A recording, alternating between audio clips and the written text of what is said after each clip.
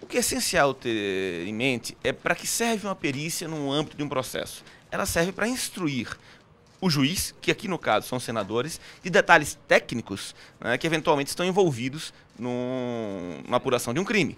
Uma perícia balística serve para identificar se eventualmente um, um projétil, uma bala, partiu do revólver do acusado.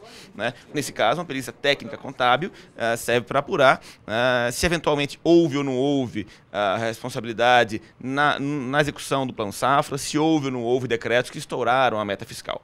Né? Então, você tem um parecer de uma junta pericial designada pelo Senado e, evidentemente, as partes podem ter os seus assistentes periciais apontando algum defeito, alguma omissão ou alguma lacuna eventual nesse parecer dessa junta. E quem vai julgar isso são os senadores, avaliando né, cada um dos, do, dos laudos periciais. Uma vez que as partes peçam esclarecimentos uh, a respeito do conteúdo do laudo pericial, uh, os peritos, a junta pericial deverá entregar até sexta-feira dessa mesma semana a resposta a esse pedido de esclarecimento.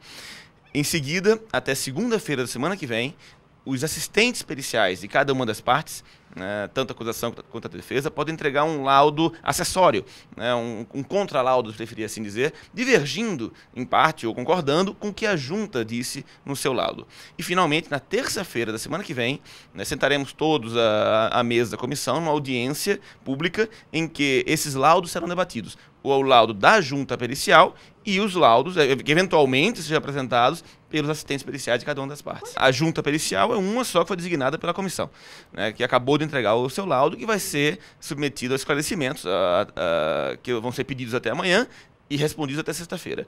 O laudo pericial é um só. Os, os contralaudos, por assim dizer, os laudos de assistência de perícia, eles servem apenas para que o juiz tenha uma segunda opinião, digamos assim, de um outro técnico sobre aquele trabalho que foi feito.